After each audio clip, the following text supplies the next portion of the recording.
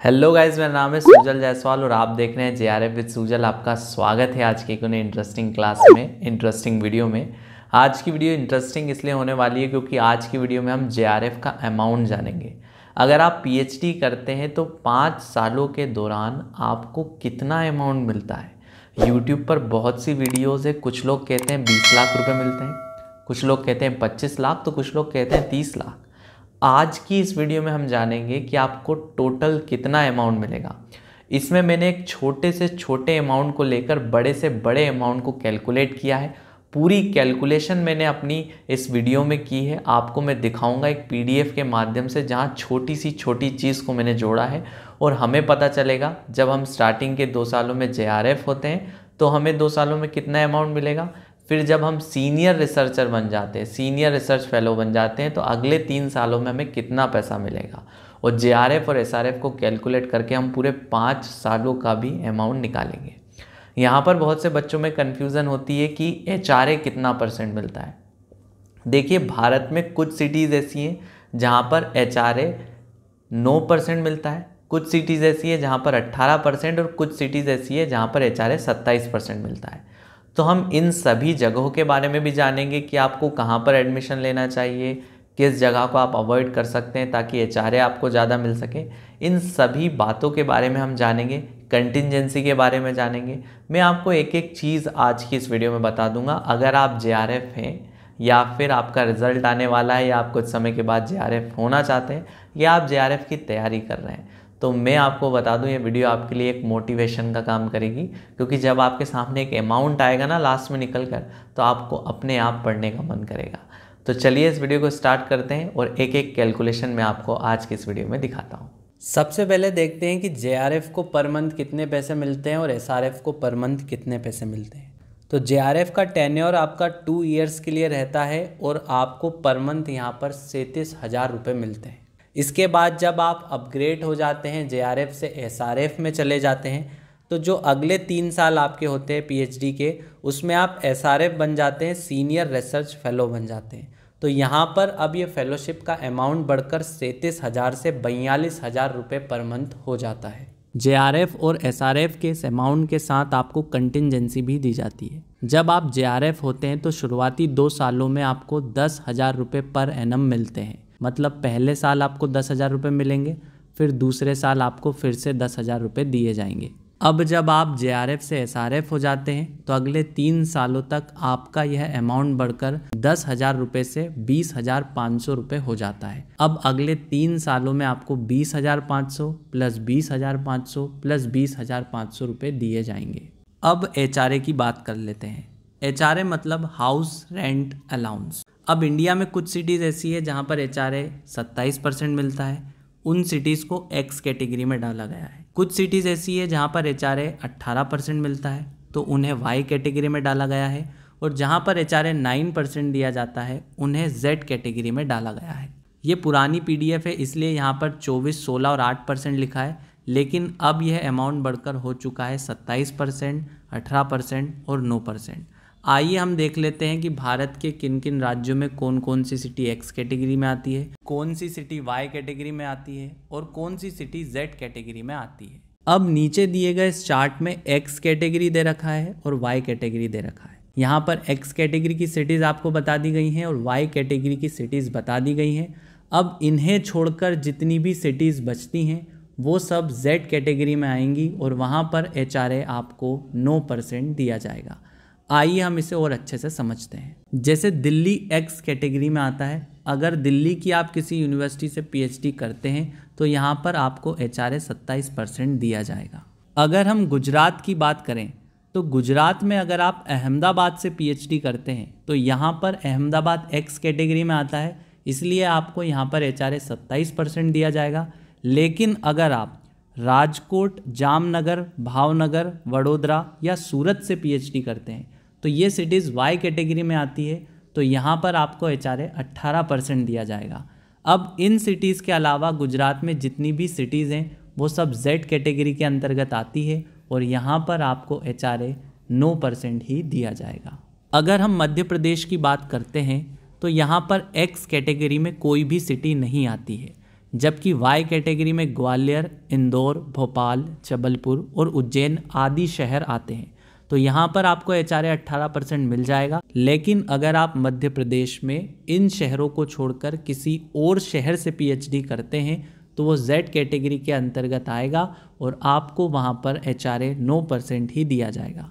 X category में बहुत कम शहर आते हैं, जैसे वेस्ट बंगाल में कोलकाता, तेलंगाना में हैदराबाद, तमिलनाडु में चेन्नई, महाराष्ट्र में ग्रेटर मुंबई एंड पुणे, कर्नाटका में बेंगलुरु गुजरात में अहमदाबाद और दिल्ली। यहाँ पर आपको एच आर परसेंट मिल जाएगा। आई होप आपको ये चार्ट समझ में आ गया होगा। आप अपने अपने राज्य को यहाँ पर देख सकते हैं अपने अपने शहर देख सकते हैं कि वो किस कैटेगरी में आते हैं। आइए अब हम चलते हैं हमारी कैलकुलेशन की तरफ़, जिसका आप सभी को इंतज़ार है। जैसा कि मैंने आपको बताया जेआरएफ को सैंतीस हज़ार रुपये पर मंथ मिलते हैं और कंटिजेंसी पर एनम आपको टेन थाउज़ेंड रुपीज़ मिलती है। अगर हम इस अमाउंट में एचआरए को जोड़ देते हैं तो आइए देखते हैं पर मंथ आपको कितने रुपए मिलेंगे। अज्यूम करिए आप जेड कैटेगरी वाली सिटी से पीएचडी कर रहे हैं और आपको 9 परसेंट एचआरए मिल रहा है तो आपका अमाउंट निकल कर आएगा तीन हज़ार तीन सौ रुपये अब अगर आप इस अमाउंट को अपने जेआरएफ के पर मंथ वाले अमाउंट के साथ जोड़ देंगे तो आपको मिलेंगे चालीस हज़ार तीन सौ तीस रुपये पर मंथ अगर यही आप वाई कैटेगरी वाली सिटी से पीएचडी कर रहे हैं तो एचआरए आपको 18 परसेंट मिलेगा और यहाँ पर एचआरए का अमाउंट निकल कर आएगा छः हज़ार छः सौ साठ रुपये अगर आप इसे जे के अमाउंट के साथ जोड़ेंगे तो पर मंथ आपको मिलेंगे तिरतालीस हज़ार छः सौ साठ रुपये यही अगर आप एक्स कैटेगरी वाली सिटी से पीएचडी कर रहे हैं तो यहाँ पर एचआरए का अमाउंट निकल कर आएगा नौ हज़ार नौ सौ नब्बे रुपये और आपको पर मंथ मिलेंगे छियालीस हज़ार नौ सौ नब्बे रुपये आइए अब हम देखते हैं कि total of first two years मतलब शुरुआती दो सालों में आपको कितना अमाउंट मिल जाएगा। अज्यूम करिए आप जेड कैटेगरी वाली सिटी से पीएचडी कर रहे हैं तो H R A plus contingency plus per month मिलने वाले रुपयों को मिला दें तो आपको दो सालों में नौ लाख सत्तासी हज़ार नौ सौ बीस रुपये मिल जाएँगे। वहीं अगर आप वाई कैटेगरी वाली सिटी से पीएचडी कर रहे हैं तो आपको शुरुआती दो सालों में दस लाख सड़सठ हज़ार आठ सौ चालीस रुपये मिलेंगे अगर आपकी सिटी एक्स कैटेगरी में आती है तो यहाँ पर आपको शुरुआती दो सालों में ग्यारह लाख सैंतालीस हज़ार सात सौ साठ रुपये मिलेंगे।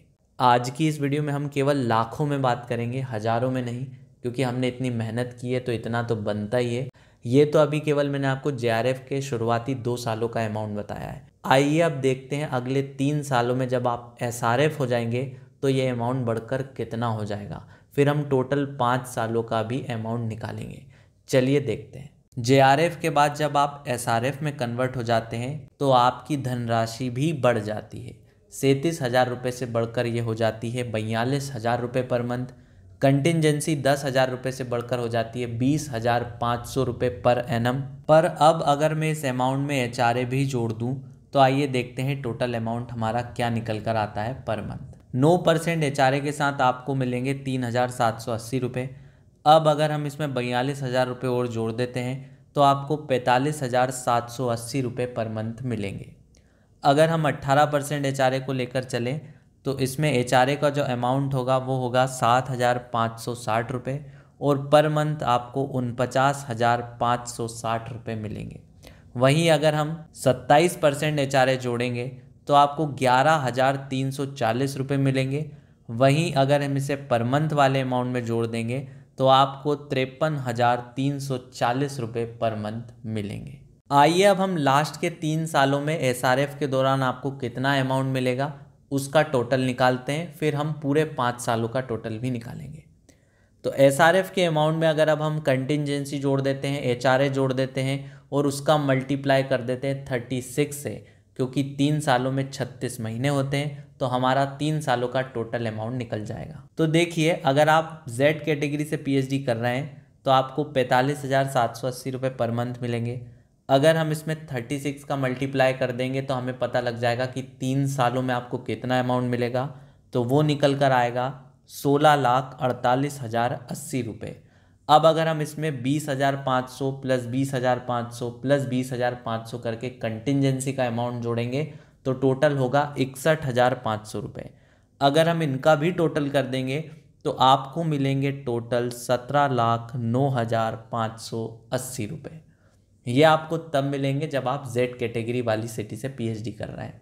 अगर यही आपकी वाई कैटेगरी वाली सिटी होती तो आपको टोटल तीन सालों में मिलते अट्ठारह लाख पैंतालीस हज़ार छः सौ साठ रुपये अगर आप एक्स कैटेगरी वाली सिटी से पीएचडी कर रहे होते तो लास्ट के तीन सालों में आपको उन्नीस लाख इक्यासी हज़ार सात सौ चालीस रुपये मिलते।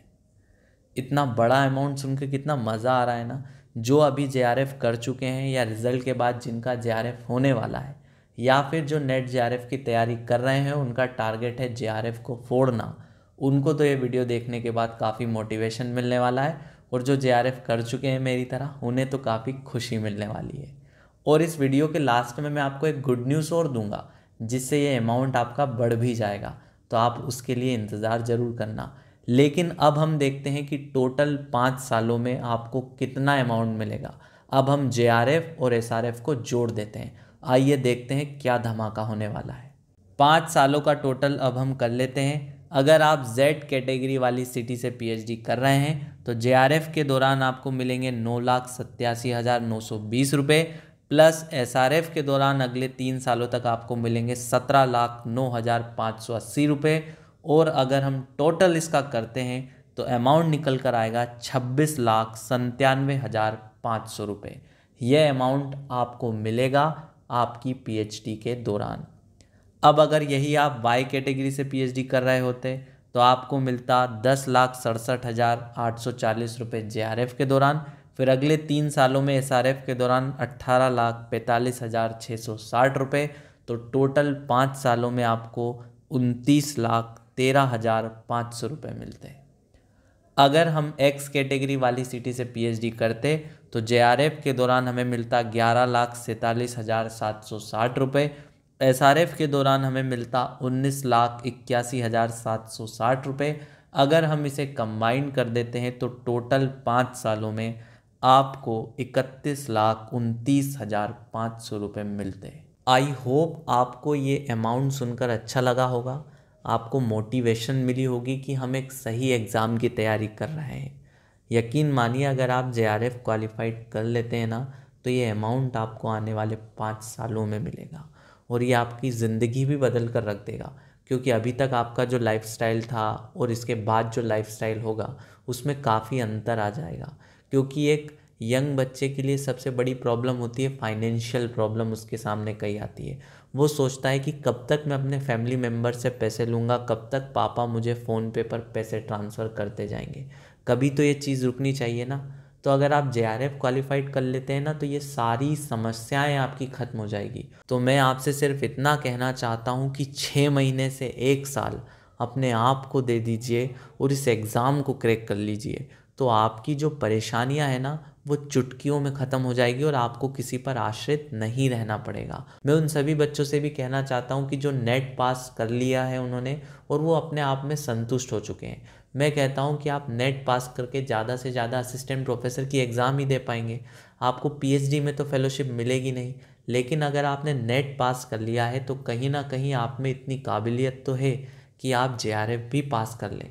तो मैं तो कहता हूँ, आप हार मत मानिए और जब तक जेआरएफ आपका पास ना हो, तब तक लगे रहिए लगे रहिए और सिर्फ़ लगे रहिए। और एक दिन ये सारा अमाउंट भी आपको मिल कर रहेगा। और वीडियो के बीच में मैंने आपसे कहा था कि इस अमाउंट को कैसे बढ़ाया जा सकता है। तो आपके लिए गुड न्यूज़ है, शायद जब तक मैं वीडियो अपलोड करूँगा, तब तक इस एचआरए का अमाउंट बढ़कर नौ अट्ठारह और सत्ताईस परसेंट से बढ़कर दस परसेंट बीस परसेंट और तीस परसेंट हो जाएगा। इसकी अभी मेरे पास कोई आधिकारिक सूचना नहीं है, इसीलिए मैंने पुराने पैटर्न पर ही वीडियो बनाई है। लेकिन शायद मुझे लगता है कि जब तक ये वीडियो मैं अपलोड करूँगा एच में हाइक हो जाएगा और आपको एच आर जेड कैटेगरी में दस परसेंट मिलेगा, वाई कैटेगरी में बीस परसेंट मिलेगा और जेड कैटेगरी में तीस परसेंट मिलेगा। अगर ऐसा कुछ होता है तो उसकी सूचना मैं आपको अपने टेलीग्राम चैनल पर ज़रूर दे दूँगा। फ़िलहाल तो सिर्फ़ आप इतना ध्यान रखिए कि आपको किसी भी तरह से इस एग्ज़ाम को पास करना है। आई होप आपको ये वीडियो पसंद आई होगी। मिलेंगे जल्दी एक उन्हें इंटरेस्टिंग वीडियो के साथ। तब तक के लिए देखते रहिए J R M with Sujal. नमस्ते।